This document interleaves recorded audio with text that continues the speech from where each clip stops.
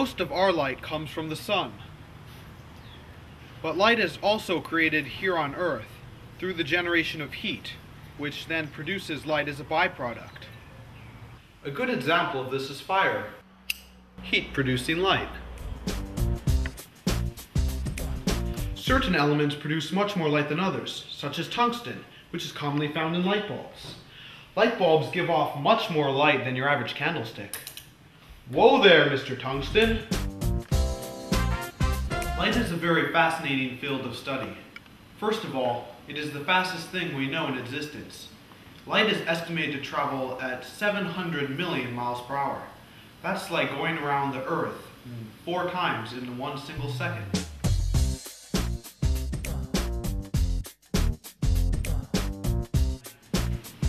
Secondly, as odd as it sounds, light is invisible to us. Only when reflecting off matter are we able to perceive it. All of these images are received by your retina, part of the eyeball.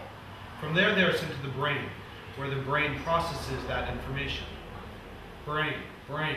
Perspectives also have to do with size. The further the object is from the perceiver, the smaller that object is going to. Ah!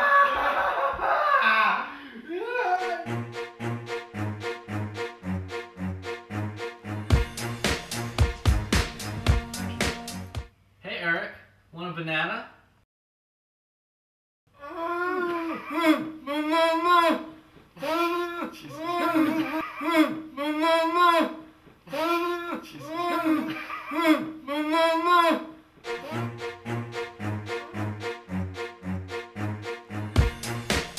Depending on how you think of someone can also affect how they look.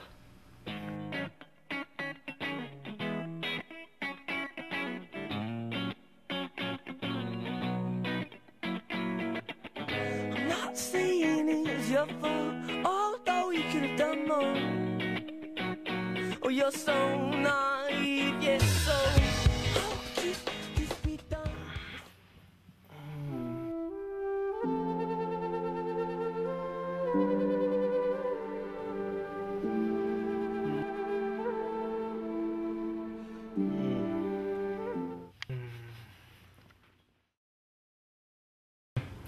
Like all of our senses, sight can become subjective. Ah! Duck.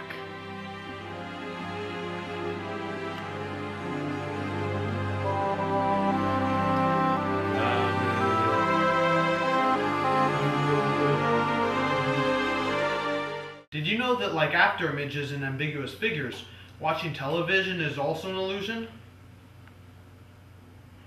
I'm looking forward to working with you. I know you probably heard that and you doubt whether it's true. It's true. Well, the president. The images displayed are called frames, each a little different from the one before.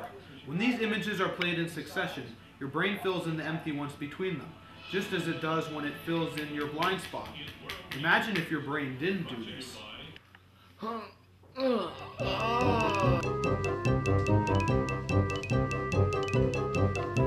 Even if a human has healthy working eyes, it does not guarantee vision. The eyeballs are only the lenses of the camera. We need the senses to receive the light, then understand it and develop it into the image. Without these senses to perceive the light, we cannot see. A blind person cannot suddenly see after attaining physical healthy eyes.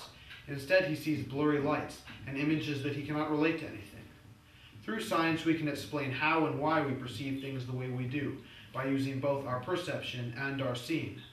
We need to understand how things are, objectively and subjectively, in order to obtain the truth. What is the truth?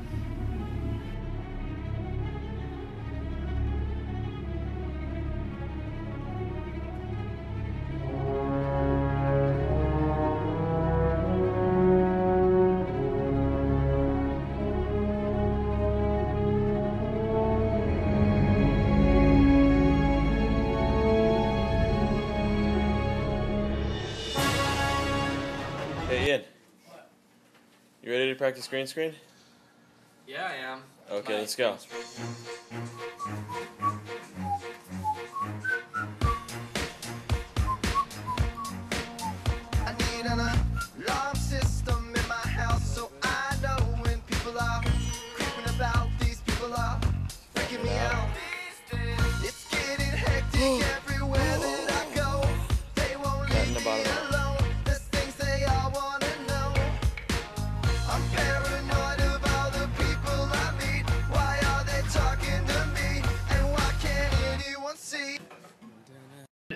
Generate much more light than others, such as tungsten, which is commonly found in light bulbs.